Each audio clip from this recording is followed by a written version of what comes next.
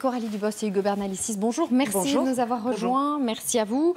Euh, secteur aérien déjà euh, moribond. On se dit que la fin des vols intérieurs euh, ne va pas arranger les choses. Enfin, la fin ou la diminution en tout cas. De quoi faire des milliers de chômeurs de plus, non?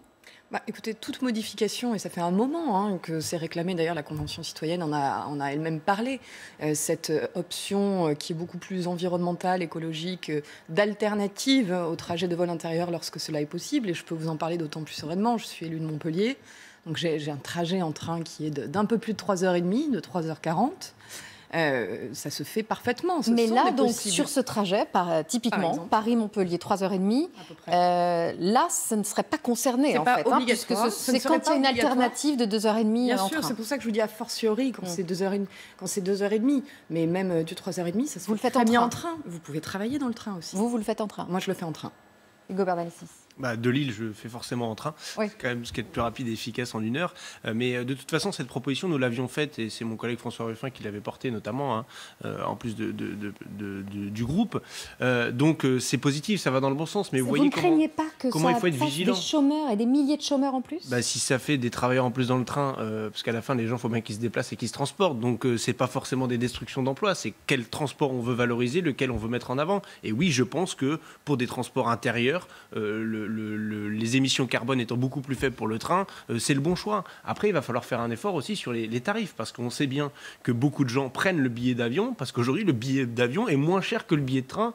Euh, donc ça, ça, Et comme la SNCF est déjà en gros déficit, si elle baisse le prix de ses billets de train... Euh, oui, mais le, déficit de la SNCF, vous savez, il, y, a des, aussi des projets à, l'extérieur et à l'international de la SNCF qui, sont consolidés dedans dans leurs dettes. Euh, donc, euh, je ne sais pas s'il faut, il faut, il faudrait regarder dans le détail la dette de la SNCF. Hein. de la même mais manière, de toute façon, il faut mettre de l'argent sur la table. Les compagnies aériennes perdent les transports intérieurs. Quel impact financier ça a Parce que déjà, alors Air France euh, s'inquiète, on parle de 8 à 10 000 emplois qui pourraient être ah supprimés chez Air France. À ces gens-là, vous dites quoi? bah, Reconvertissez-vous et devenez agent ferroviaire J'en sais rien. Moi, je me prononce pas sur je me prononce pas sur des estimations de gens à qui je n'ai pas confiance. Euh, déjà, dans le, dans le temps normal, euh, quand Air France euh, va bien et qu'elle dégage des profits, on supprime des emplois. Donc déjà, c'est un problème. Donc partageons déjà un peu enfin, là, c'est une large la richesse et le travail. qui demande à être reçue par le gouvernement. Hein. Ce sont les syndicats là, qui parlent. Hein. Mais très bien, très bien, qu'il soit reçu par le gouvernement. Moi, ça me semble normal que les gens s'inquiètent s'il y a des suppressions de postes dans l'entreprise. Enfin, c'est le fonctionnement normal. Après, est-ce que ces, ces, postes vont se retrouver dans le ferroviaire? Est-ce qu'on pourra faire des, des, des, équilibres? Mais vous savez, je pense que la crise du, Covid-19 va avoir un beaucoup plus gros impact que la suppression euh, de quelques vols intérieurs. N'empêche qu'il faudra être vigilant, parce qu'au départ, la copie du gouvernement, c'était que pour Air France, ça concernait quatre lignes. Et puis finalement, par la vigilance des uns et des autres sur une proposition qui était d'abord un coup de com', on finit par aboutir à quelque chose qui est beaucoup plus. On, on, demande à des, hôtesses de l'air de devenir agents de contrôleur des euh, propos du Moi, je, je, fais confiance aux agents d'Air France, bien évidemment, et je pense que quand on change de stratégie, il faut accompagner le changement de stratégie tout le monde pendant le confinement. je termine. Pendant le confinement, euh, beaucoup de personnes nous parlaient du monde d'après, des transformations qu'il allait falloir euh, lancer, impacter, cette nouvelle façon de considérer notre société. Forcément, toute transformation implique à un moment donné des modifications, notamment des emplois. Ça ne veut pas dire disparition brute et sèche. Ça veut dire accompagnement, ça veut dire transformation professionnelle, ça veut dire peut-être développement de nouvelles activités qui, elles, permettront euh, de s'inscrire beaucoup plus dans un plan qui soit à la fois de transport et d'écologie. Il n'y aura pas de sortie euh, sèche. Et bien évidemment, les distorsions de concurrence sont de toute façon interdites. Ça ne pouvait pas concerner qu'une compagnie. C'était impossible. Les mesures s'appliqueront pour tous de la même façon. C'est déjà la règle. Oui, je doute de l'accompagnement parce que vous savez, sur le ferroviaire, on n'a plus tellement la main vu qu'on a ouvert à la concurrence et libéralisé largement. Donc après, comme on a un fonctionnement privé de l'entreprise, il ne faut pas s'étonner qu'on n'ait plus la main dessus pour justement faire ces transitions, récupérer des emplois de l'autre côté, faire des plans de formation.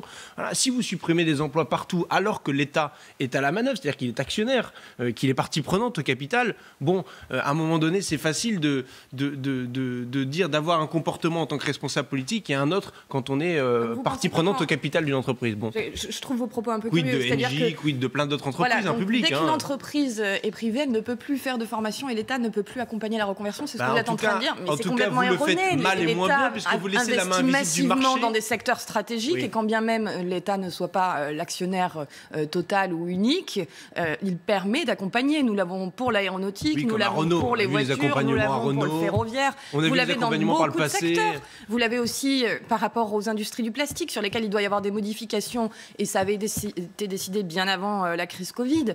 Et il y a de l'accompagnement. À chaque fois qu'il y a une transformation des métiers, un changement de stratégie industrielle, l'État accompagne. Agnès Pannier-Runacher fait ça fabuleusement tous les jours depuis des mois. Et vous le savez très bien. Vous voyez les contradictions dans lesquelles nous sommes et qui sont majeures. C'est à celles-là qu'il faut réfléchir. Il faut faire quelque chose pour euh, l'avenir de la planète. Euh, ça, euh, on en est d'accord. Si on supprime les lignes aériennes intérieures, on se reporte sur le train, mais on se rend compte qu'au prix où est le train, le pouvoir d'achat ne peut pas y faire face. Si on euh, supprime les lignes aériennes intérieures, on met en péril les compagnies aériennes. Est-ce que les autres pays européens font des choix qui sont similaires aux nôtres Ou est-ce qu'elles laissent leurs compagnies davantage vivre? C'est quand même une question importante. Et votre remarque sur la libéralisation de la SNCF peut susciter une autre réflexion. On a ouvert les lignes SNCF aux compagnies étrangères avec une réciprocité, c'est-à-dire la capacité pour la SNCF d'exploiter des lignes en Europe, on appelle ça euh, la concurrence. Si on est hostile à la concurrence, ça veut dire, mais pourquoi pas Mais il faut aller au bout de ces idées-là. Ça veut dire que nous désertons de l'idée européenne, que nous désertons de l'idée du marché unique, que nous désertons de Schengen, libre circulation des individus et des marchandises, et que nous sommes plutôt favorables dans l'esprit, et on voit bien que la crise du Covid-19 nous pousse à ça, au rétablissement des frontières. Et ce sont tous ces défis intellectuels et économiques qui sont devant nous. Et dans la polémique, on n'en éclaircit aucun, on, aligne toutes les contradictions les unes après les autres, mais c'est à cette somme de contradictions-là, pour tenter de les surmonter, de les résoudre, qu'il faut réfléchir. Alors, la crise du coronavirus pourrait relancer aussi une autre bataille, l'une des grandes batailles d'Emmanuel Macron en, 2015. Travailler euh, et produire davantage, disait le chef de l'État il y a peu, cela peut, passe peut-être par travailler et produire davantage. Le dimanche, information de nos confrères euh, de l'opinion. Euh, pas sûr que ça plaise euh, aux syndicats qui ont rendez-vous demain avec Emmanuel Macron. On va assouplir le travail le dimanche, Coralie Dubos C'est dans les tuyaux Nous verrons bien. Ce qui, en tout cas, moi, ça je, pas l'air de enthousiasme. Hein. non, mais je pense qu'il faut. Ce sont des sujets sur lesquels il faut être capable de parler de tout, sans être non plus dans des prêts-à-penser euh, automatique. Quand on est sorti du confinement dans l'Hérault, nous, le préfet, par exemple, il a autorisé les coiffeurs à travailler le dimanche en plus de la reprise pour leur permettre de se refaire une santé, entre guillemets, suite à ces trois mois de fermeture. Ce sont des professions où les trois mois que vous n'avez pas fait, vous ne les récupérez pas en un claquement de doigts. Ça a très bien fonctionné. Pour certains, ça a très bien fonctionné. Ils aimeraient que ça se pérennise parce que finalement, ça correspond mieux à leur clientèle, etc. Et eux, ils peuvent s'aménager un autre jour de repos pourquoi pas? Je pense qu'il faut voir par secteur, par branche, par activité, par métier. Ça doit être discuté. Il n'y aura pas là non plus, euh, il ne faut pas imaginer une décision brute et, descendante. Je pense qu'il faut surtout le discuter avec les métiers qui peuvent être intéressés par cela et où ça, ça correspondrait à un nouvel aménagement on, de vie. On assouplit par secteur, par branche pour éviter de la casse sociale, Hugo Bernalicis? Non, c'était une fausse bonne idée parce qu'en réalité, euh, je reprends l'exemple du coiffeur, peut-être qu'on peut imaginer que vu que beaucoup, tout le monde a eu les cheveux qui ont poussé en même temps pendant le confinement, il y avait besoin aussi euh, d'élaguer ensemble en sortant du confinement, mais, mais en réalité, vous n'allez pas plus vous faire coiffer parce que euh, le coiffeur est disponible le dimanche. Sur l'année, vous bah, allez été vous faire le coiffer, le coiffer autant chaque année, pas plus, vos cheveux vont pas plus pousser. Et c'est pareil, l'argent que vous dépensez, que vous n'avez pas le vendredi et le samedi au supermarché, vous l'aurez pas plus le dimanche. Donc c'est une question d'organisation et de qu'est-ce qu'on est capable de s'accorder collectivement comme moment où on passe au repos, en famille, etc. Ça n'irait pas du tout au rien. Hein. Les jours donnant droit au commerce d'ouvrir le dimanche pourraient passer de 12 à 18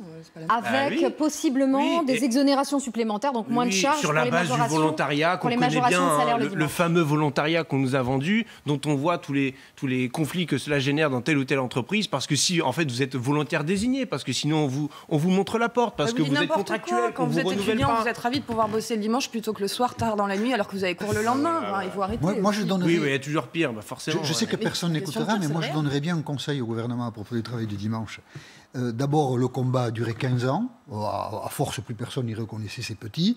Ensuite, c'est une législation d'une complexité épouvantable. Et donc, au bout du compte, le conseil que je donnerais au gouvernement, c'est... C'est de laisser Passez à autre chose. Côté. N'y pensez plus. Revenir en retraite, mais pas au travail le dimanche. Passez à autre chose, vraiment. Ni l'un ni l'autre, peut-être. peut-être de votre, de votre côté, vous ne voulez ni l'un ni l'autre. On tape quand même sur 500 000 à 800 000 chauffeurs supplémentaires en fin d'année. Donc pour vous, de toute façon, ça ne passe pas par euh, un assouplissement euh, du travail. Euh, quel qu'il soit. Non, non, moi je pense qu'il faut relancer l'activité en désignant des secteurs clés où l'État doit planifier, doit injecter des fonds publics pour structurer des filières. Voilà. Et donc vous pensez que par exemple, tous les endroits où l'État ne structure pas, ça doit s'effondrer Vous le laissez s'effondrer? Vous faites comment pour le reste de Bah non, mais bon, on peut imaginer qu'on ait des volets d'entraînement dans l'économie. D'ailleurs, c'est un peu la pensée que vous avez en injectant plusieurs milliards dans les très grandes entreprises. Mais vous avez des gros secteurs stratégiques, mais ça ne couvre pas la totalité de l'emploi. Si on est sur 500 000 emplois en jeu, c'est aussi toutes les PME. Je vais terminer. Vous ne conditionnez rien, vous donnez des milliards à une grande entreprise qui peut aller faire fabriquer ses produits à l'autre bout du monde sans que ça ait un impact sur l'économie euh, française et sur l'emploi français. Donc, euh, euh, on en est là. Pourquoi vous ne mettez que 8 millions d'euros sur l'agriculture biologique dans le pays? Parce que Quand vous mettez 8 milliards sur l'automobile, l'agriculture biologique, c'est 160 000 emplois actuellement et potentiellement 150 000 de plus. Et c'est le moment de faire cette bifurcation, c'est le moment de faire cette transition. Et elle coûterait beaucoup moins cher que tous les milliards que vous à l'échelle européenne et que le monde d'avant et l'économie d'avant. Ce que la France verse à l'Europe et ce qui repart ensuite aux agriculteurs, vous savez très bien que ça passe par ce schéma-là. Non, pas forcément. Mais si. Mais et là, on est en train de parler. Vous pouvez avoir un schéma supplémentaire. Vous pensez que l'agriculteur, il travaille jamais le dimanche? Il travaille le week-end en général. Vous ne pouvez pas dire que l'automobile, c'est l'économie d'avant. Bah non. Comment Vous ne pouvez pas dire que l'automobile, c'est l'économie d'avant. C'est bah, une parole un peu trop radicale et je ne vous conseille pas d'aller devant la porte des usines euh, Renault concernées par euh, le plan euh, de, baisse des effectifs où vous diriez ça, parce que vous ne seriez pas très bien accueilli. Hein. Ben, ça, c'est vous qui le dites. Euh, moi, je pense. Je le présume. Vous moi, je pense que de toute façon, le monde d'avant a déjà supprimé tous les emplois euh, et a serré la vis à tout le monde et tiré les profits. Vous savez, je ne comprends pas pourquoi on a continué de produire des voitures pendant le confinement, là où tout le monde était en chômage partiel, en ayant mis en danger les salariés de ces secteurs-là. C'était quoi l'intérêt? C'était quoi l'objectif? C'était quoi C'est quoi l'utilité d'avoir 400 000 voitures produites qui ne sont pas vendues? Expliquez-moi quelle est l'utilité sociale, l'utilité économique, l'utilité pour les travailleurs, l'utilité pour l'intérêt général? C'est une chose de critiquer la manière dont euh, les chaînes automobiles ont été gérées pendant la crise, pendant le confinement, et autre chose de dire que l'industrie automobile appartient au passé. Je, je pense que c'est un peu rapide, quoi. Allez, on ne vous mettra pas d'accord. J'aimerais vous entendre, Hugo Bernalicis. L'argent comme ça, c'est pas forcément la bonne, surtout sans condition, pas la bonne solution. J'aimerais vous entendre parce qu'il nous reste peu de temps sur une autre actualité, l'affaire euh, Cédric Chouviat, euh, cet homme de 42 ans mort euh, en janvier dernier après un contrôle routier. De nouveaux éléments viennent d'être mis au jour. Ils ne sont pas à la faveur des forces de l'ordre. Nos confrères du Monde et de Mediapart ont eu accès aux enregistrements du téléphone portable de la victime, enregistrement réalisé au moment de l'interpellation. On y entendrait notamment les derniers mots de Cédric Chouviat. J'étouffe, répété à six ou sept reprises. Florian Hitzler. Et si un téléphone portable remettait en cause toute la version des policiers? Pour les enquêteurs, l'un des enregistrements de l'arrestation de Cédric Chouviat pourrait bien mettre à mal la ligne de défense des agents. Selon nos informations, sur les images captées par les téléphones, on entend le livreur appeler à l'aide. À ce moment-là, il est allongé sur le ventre. Trois fonctionnaires s'appuient sur son dos pour le menotter. Cédric Chouviat leur demande d'arrêter. J'étouffe, répète-t-il, à sept reprises au total.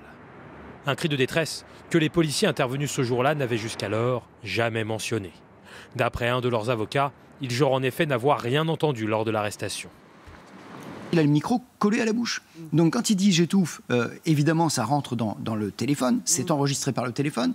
En revanche, quand vous prenez l'environnement général, l'atmosphère générale de la rue, toutes ces voitures qui passaient, mmh. les gens qui étaient autour, les policiers eux-mêmes qui criaient, il y a des mots qui sont prononcés par tout le monde. Mmh. Ils entendent que M. Chouvia parle, mais ils ne savent absolument pas ce qu'il dit. Dans les prochains jours, les policiers devraient être interrogés par les juges d'instruction avec une possible mise en examen.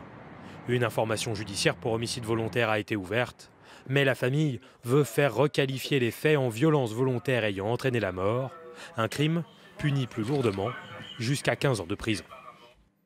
Et les avocats de la famille Chouvia donnent une conférence de presse euh, en fin de matinée à 11h. Ce sera à suivre en direct sur LCI. Alors, ces nouveaux éléments mettent en difficulté les forces de l'ordre et leur ministre, Christophe Castaner. L'affaire Chouvia, entre autres, on s'en souvient, euh, l'avait euh, conduit à suspendre la clé d'étranglement. mais la colère des forces de l'ordre l'a fait revenir sur cette décision temporairement. il est désormais au pied du mur. Là, si dans cette affaire, l'instruction est en cours, la clé d'étranglement est clairement mise en cause. Bah, en fait, vous avez plusieurs euh, difficultés autour de cette technique euh, d'interpellation qui, je voudrais quand même le préciser, n'intervient que si vous avez une personne en rébellion. C'est-à-dire que si vous n'avez pas de rébellion lors euh, du contrôle ou de l'interpellation, vous n'avez pas recours à ces techniques-là. Quand vous avez recours à ces techniques, je préfère les appeler des techniques de contrôle de tête, étranglement, c'est un peu lourd. Fracture du larynx. Hein. Voilà, c'est ce que j'allais vous dire. Vous avez deux façons apparemment de le faire, l'une sur le larynx, l'autre sur la jugulaire.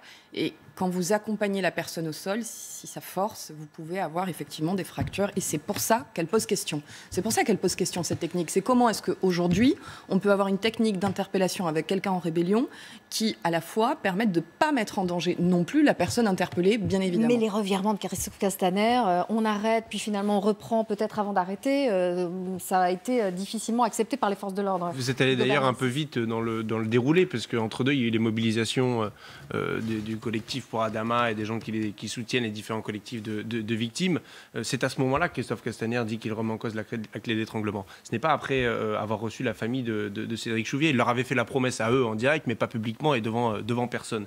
Donc on voit bien qu'ici, s'il n'y a pas une mobilisation, il n'y a pas de prise de conscience. S'il n'y a pas le travail que fait la presse pour révéler ces, ces, éléments, il n'y a pas de prise de conscience non plus. On est tout le temps en train de minimiser, de féminiser. Je ne vous ai pas interrompu. Je ne vous ai pas interrompu. Je ne vous ai pas interrompu. J'aimerais terminer ma phrase. Christophe Castaner avait commandé un rapport sur les techniques d'interpellation. C'est sensible pour vos sujets. Hein. C'est sensible, hein, surtout quand vous avez les policiers qui mais vous, obéissent des contre-vérités, monsieur, vous dites des mensonges. Non, non, je ne dis pas de mensonges, ni contre-vérités. En l'occurrence, les contre-vérités, les rétropédalages, c'est le ministre, c'est pas moi. Hein. Donc, des euh, études. Oui, et les études montrent que ce geste tue à travers le monde. Vous ne pouvez pas le prendre à la légère comme ça. Mais c'est vous qui le prenez à la légère. Parce que vous, vous permettez ce geste qui tue des gens. Et l'idée merveilleuse qu'avait trouvé le ministre, c'est de dire Ah bah mettons des tasers pour tout le monde. Super, sauf que le taux de mortalité du taser est au moins, au moins identique, si ce n'est supérieur, à celui de la clé d'étranglement. Donc, euh, avec vos, solutions, vos fausses bonnes idées à l'emporte-pièce, à la fin, vous mettez les, policiers dans une situation euh, inextricable parce qu'ils se retrouvent à, faire des gestes qui conduisent, qui entraînent la mort, donc ils sont mis en cause, évidemment, euh, et il y a des gens qui meurent. Enfin, peut-être que ça vous, fait ni chaud ni froid, peut-être que vous en fichez. Vous qui ne voulez même pas admettre le Vous invitez toutes les personnes à ne pas être en rébellion mais, j'invite les policiers à faire preuve de discernement, à appliquer le code de déontologie. D'accord. Et, quand vous êtes face à une rébellion, comment vous Et j'appelle à ce que la formation soit revue. On a deux stagiaires dans le, dans le cas de figure de M. Quand vous êtes face à une rébellion, deux stagiaires. Mais il n'y a pas de rébellion là. Ah Il n'y a pas de... Ben oui, c'est ce que montrent les articles de Mediapart et du Monde et les enregistrements. L'enquête est encore en cours. L'instruction, pardonnez-moi, l'instruction. C'est la défense facile. Laissez faire Non, non, non, on vous dit juste l'instruction est toujours en cours. Si vous me permettez. C'est un exercice difficile, il faut trouver des solutions, c'est extrêmement On a reçu. Il y a des pays où c'est interdit. Est-ce que la police ne peut pas faire son travail dans ces pays Vous pourriez écouter la veuve de Cédric Chouviat Merci. Euh, on l'a reçue il y a quelques semaines, la veuve de Cédric Chouviat, Doria Chouviat, euh, qui euh, s'inquiétait évidemment de l'évolution de la situation le matin même, hein, où on la recevait, Christophe Castaner, qui était interrogé euh, dans une, matinale, disait que rien ne disait que la fracture du larynx de Cédric Chouviat n'était due à la clé d'étranglement. Écoutez la réponse de Doria Chouviat. J'ai la haine. J'ai la haine, je suis, je suis dépitée, je suis dégoûtée. Je me dis, euh, quel gâchis, quel dommage. Enfin, euh, pourquoi ne pas aller jusqu'au bout Maintenant qu'il est lancé, maintenant qu'il a admis, qu'il a reconnu que la violence policière existait, euh, qu'il y avait des contrôles qui, dérapaient et que ça ne devait pas arriver, qu'il y avait des bavures policières. Enfin, maintenant qu'il a reconnu tous ces problèmes, faut qu'il agisse, faut qu'il agisse. Et je vous dis encore une fois, pour sauver des vies, parce que les dérapages, euh, ils sont trop vite arrivés et les conséquences, elles sont irrémédiables. La position prise par le ministre de l'Intérieur, elle a été difficilement euh, comprise, notamment par les forces de l'ordre et par les familles de victimes aussi. C'est-à-dire que là aussi, il y a tellement de notions contradictoires qui s'entrechoquent. On ne peut pas désarmer les policiers. On ne peut pas, euh, ça n'est pas possible. Enfin, on aborde ce débat parfois avec une légèreté. Alors, on enlève les LBD, ben, on ne met rien à la place. On enlève euh, des techniques qui permettent de maîtriser. Oui. Laissez-moi Vous parliez des voisins européens. Laissez-moi bah, les, voisins européens, je ne sais pas. Mais moi, je ah, parle bah de la France. on ne peut pas. Non, il y a des choses que je ne sais pas. Voilà. Arrêtons-nous là alors. Mais je sais qu'on ne peut pas désarmer les policiers. Ah bon Parce que si on écoute certains, on leur enlève le LBD, on ne le remplace pas. On leur enlève des techniques qui permettent de maîtriser des gens qui sont en rébellion. Et après, on leur dit vous allez faire du maintien de l'ordre. Ça, ça n'est pas possible. Mais par ailleurs, on voit bien l'affaire de Cédric Chouviat, parce que là, je vous rejoins. C'est trop facile de dire de laisser faire l'enquête. Il est évident que Cédric Chouviat n'était pas en rébellion. C'est une évidence. Et dans les transcriptions qu'amènent heureusement des journalistes, quand on entend un policier dire à ce monsieur, non mais en plus tu veux pas que je te... Après, il suit une énorme grossièreté. On voit bien que le policier dans sa tête, il use et il abuse de sa force. Et ça aboutit à ça. Moi, j'en veux beaucoup, personnellement, aux syndicats de policiers, qui sont corporatistes, qui n'aident pas les pouvoirs publics à séparer dans la police ceux qui abusent de leur force. Et nous avons de ce fait sur le terrain des policiers qui se comportent mal. Et il faudrait reprendre tout cela patiemment. Mais désarmer les policiers, c'est irresponsable. Je vous laisse le mot de la fin, Coralie Dubos, Hugo Bernalicis. Ah, c'est effectivement extrêmement complexe, si vous voulez, sur ces sujets. Moi, je comprends bien évidemment l'émotion de la famille euh, de M. Chouvache, je le comprends parfaitement. Je comprends l'émotion aussi autour de la famille Traoré, mais je pense qu'on est en train de parler d'une technique de maintien de l'ordre pour l'ensemble de la police et qu'il faut vraiment distinguer ce qui est du nécessaire dans l'exercice normal des fonctions régaliennes, des comportements individuel qui aurait dérapé et où là, ça doit être sanctionné fermement. Mais vous ne pouvez effectivement pas désarmer la police, surtout quand elle prend des pavés toutes les semaines, à chaque fois qu'il y a une manifestation, parfois encouragée par certains élus. Bon, vous, prouvez une nouvelle fois que vous y connaissez rien parce que l'étranglement, ah bah, c'est pas une technique. J'étais témoin la semaine dernière à l'Assemblée nationale des gens qui jetaient les pavés. C'est pas possible en fait d'en placer une. Euh, Allez-y, terminez. J'aimerais bien euh, expliquer que le maintien de l'ordre, ce n'est pas une technique, ce ne sont pas les techniques d'interpellation. L'étranglement est une technique d'interpellation, pas de maintien de l'ordre. Si vous faites la confusion entre les deux, c'est que vous n'y connaissez rien. Et je le sais, vous n'y connaissez rien. Et parfois, le maintien de l'ordre conduit à l'interpellation. Oui, mais ce n'est pas la même chose parce que quand vous êtes en train d'interpeller M. Chouviat, ce n'est pas du maintien de l'ordre, c'est un contrôle routier ah, qui, qui, dégénère. Donc regardons les choses en face. Et oui, je pense qu'il faut désarmer au maximum la police parce que c'est mieux pour tout le monde. Ça s'appelle la désescalade. Il y a des tas de pays européens. En Angleterre, on, on connaît les bobbies qui, qui, sont là pour faire de la sécurité publique sans armes à feu. Voilà. Et Comment ils font face aux 300 black blocs qui déboulent sur des invalides? Mais ils sont pas. Mais, euh, mais vous croyez qu'ils ont des armes à feu face dans leurs manifestations en Angleterre Bien sûr que non. on est les seuls à être aussi militarisés en Europe. On est les seuls. Les seuls. Il faut même que vous le regardiez en face. Et pourtant, nous n'avons pas forcément les manifestations les plus violentes. Je vous invite à regarder les images à l'étranger. Merci à vous. Merci Coralie Dubos. Merci Hugo Bernalicis d'avoir été nos invités.